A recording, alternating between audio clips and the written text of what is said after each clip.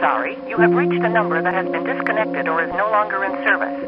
If you feel you have reached this recording in error, please check the number and try your call again.